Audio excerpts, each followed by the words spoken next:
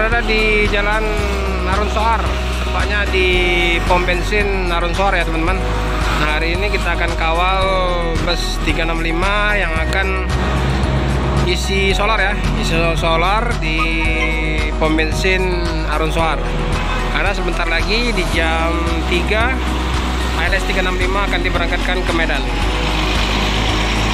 Tadi dicek dulu ya teman, tadi dicek dulu keberadaan solarnya, rupanya ada ya. Jadi kita beritahu ke Bang Leo agar ngisi di Jalan Arun. Karena nanti ini akan lintas barat ya teman-teman. Akan lintas barat ke arah Medan via Toba teman-teman.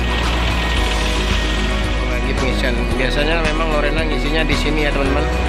Baik sebelum berangkat ataupun dari arah Pekanbaru dia isi minyak dulu baru ke arah loket ya teman-teman ini ada 365 bentar lagi akan isi solar ya. Kita sudah berada di dalam kabin RS 365 ya teman-teman. Nah ini ada Om Riki. Om Riki lagi perbaikan. Perbaiki apa ini Om Riki? lagi perbaikan TV untuk TV ya? Untuk ini ya? Untuk USB ya? USB karaoke. Oh karaoke nya biar masuk ya? Baru ya TV nya TV-nya udah lama. Udah lama ya tapi jarang difungsikan ya Inilah kabin dari ALS 365 ini berapa seat G? 35 ini 36 ya 36 seat. Oke teman-teman ini ada bantal ada selimut ada kamar kecil ya. Oke keren ini. Jadi teman-teman seputaran Palembang Jambi ya yang mau naik unit ALS 365 ke Medan via Toba silakan ya. Hubungi nomor ini mungkin nggak connect ya?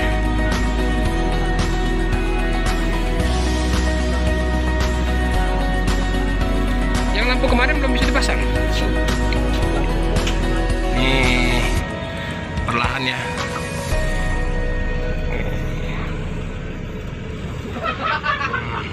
Belum bisa dipasang karena lemnya nggak lengket ya? Iya pak, kurang klaimnya itu apa pak? Jadi setelah di Medan lah ya. Di Medan nanti video kan ya.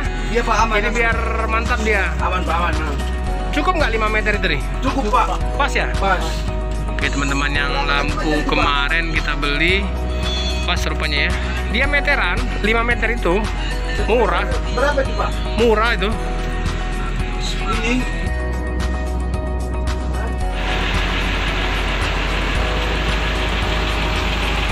jadi untuk unit 365 ada persiapan ya. Ini untuk paket-paket udah mulai dinaikkan untuk persiapan keberangkatan ke Medan. Ini penumpang mulai ramai ini teman-teman. Ini penumpang mulai ramai yang akan ke Medan. Ini untuk keberangkatan Senin ya di tanggal 22 November 2021. Sampai jam 1 malam aku pasangnya semalam. Tapi nyala. Nah ini Bang Rat, ini kayaknya udah mulai ramai ya.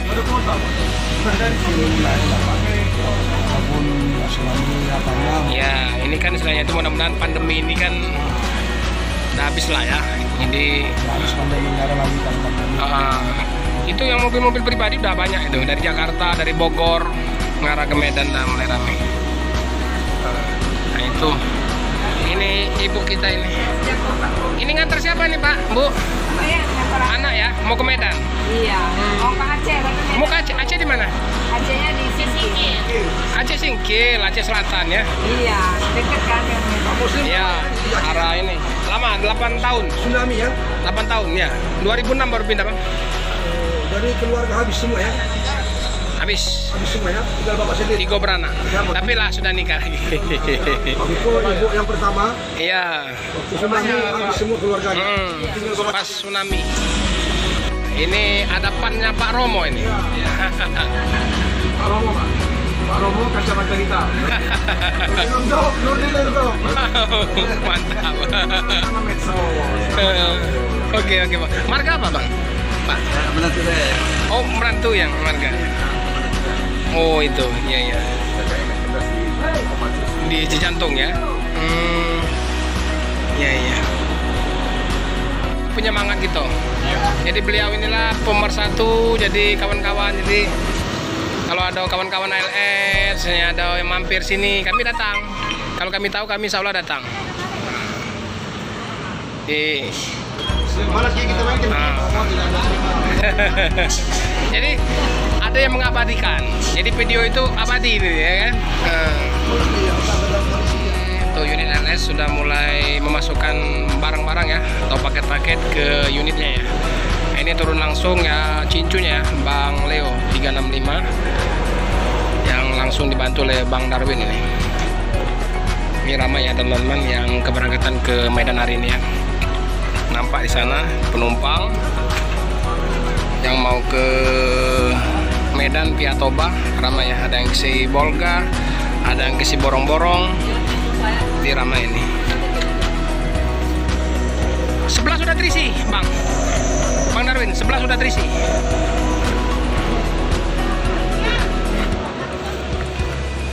Ini makannya ya makan aja dulu makan aja dulu. Jadi baru mandi baru enak kan? Kalau udah mandi baru segar nanti wow mantap. Ini baru makan sore di mana? Pagi tak. Tapi baru Enggak makan nanti pas di jalan. Apa? Hikmah Pajar Baru mimpi. Bayung ya? Pagi sore. Kalau pagi baru Enggak pagi sore rumah makan pagi sore apa di pa, ini Hikmah Pajar rumah makannya? Oh di situ ya. Udah dekat sama Bayung itu? Oh Bayung Licin ya? Iyalah. Makan aja dulu sini biar kenyang kan? Ya, Pak. nanti biar masih jauh itu masalahnya Bayung bisa 4 jaman. 5 jam lah. Berapa kali tak jam? 8 jam 6 lah. dia makan. nanti ya. Oke. Nah, makan makan. Jadi lagi memasukkan ya paket-paket menaikkan motor ada juga paket-paket barang. Setelah itu baru penumpang naik ke atas unit 365 ya teman-teman. Baru siap diberangkatkan ke Medan. Via Toba jadi begitu lelahnya ya. Kru dari ALS ini. Jadi dari pagi. Jadi kata Bang Leo tadi tiga hari di Palembang. Eh, nggak ada istirahatnya ya. Hampir nggak ada istirahatnya selalu reparasi ya mana yang kurang dari bus ini diperbaiki. Kita lihat itu Bang Leo nampak memantau ya. Jadi memantau terus dari beliau. Tidak diam saja jadi beliau juga memantau ya proses dari pengepakan atau memasukkan barang ke unit ALS 365 oke Bang Leo semoga lelah Bang Leo bersama kru akan menjadi barokah ya buat keluarganya. Halo Bang Darwin. Tuh Bang Darwin juga capek ya. Ini petugas dari ALS Palembang teman-teman. Bentar lagi ALS 365 akan diberangkatkan ke Medan ya via Toba. Ini penumpang sudah mulai ramai. Jadi mungkin saya tidak sampai menunggu keberangkatannya ya karena ada pekerjaan ya teman-teman. Oke, terima kasih saya Eri sore ini. Assalamualaikum warahmatullahi wabarakatuh. Terima kasih yang sudah menonton, terima kasih juga yang sudah subscribe dan like serta komen.